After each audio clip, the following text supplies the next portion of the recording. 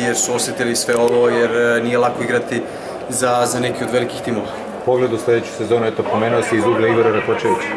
Pa nema šta, siguran sam sljedeća sezona biti još bolja e, za nas. E, e, nadam se će naš klub nastaviti sa, sa ovakvim radom. E, malo nam je stvarno falilo da napravimo fenomenalnu sezonu, ali sezona je bila poprilično dobra. Treba da optimistično gledamo na, na, na ono što smo uradili. Samo I тоа се добри момци, професионалци и било част играти со нив.